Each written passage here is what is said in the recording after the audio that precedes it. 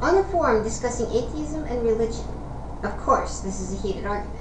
I the mention that some atheists no, not all religious people are zealots, but that we continue to regard them as such until they stand up and announce that they are not zealots. Well, you can guess the response. They called it propaganda and even accused us of dirty tactics. But here's the problem. We didn't start that notion. Yes, it is actually what zealots did, not anyone else. The zealots attempted to lump all of you reasonable Christians with them, as if they are the ultimate speakers of religious people. So why are some of us atheists doing as well?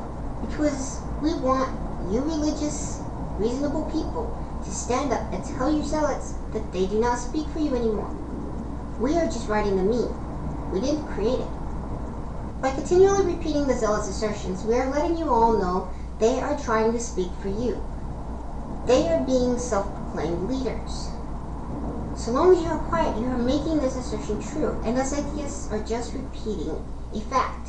But when you stand up and speak out against them, then you prove us atheists wrong. You can take being wrong, so please, prove us wrong. In reality, most atheists, hopefully they don't prove me wrong on this, do not want a war and consider this whole mess a waste of time. The zealotry is creating a huge divide in religious communities. Is that what you really want? The zealots are showing ignorance and lacking intelligence. Is that who you really want to speak for you? Religious zealots are crying for war. Does anyone want that? This does not mean you even have to agree with anyone else. On the contrary, this is a call for you to speak out and up for yourself. One fact that is often forgotten about atheists each one is unique, and no two will agree on everything.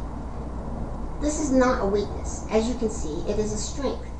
Some have religious beliefs, just lacking a belief in a God. Some are scientific minds who love to analyze and critically investigate every claim. Some prefer the natural world of trees and animals. Others will be daredevils and risk takers. Because of this, the pool of ideas, skills, and strengths are diverse enough that when we team up, we prove rather difficult opponents in debates, discussions, and even in politics. So too can the good religious people be this strong, but only if they embrace their diversity instead of keeping it silent. You do not have to shed your belief in a God or deny religion to embrace the diversity. You just have to ignore a few more parts of the doctrine that are holding you back. But most importantly, you need to let the zealots and everyone else know that they are not your voice. No longer at the mercy of the reptile brain, we can change ourselves.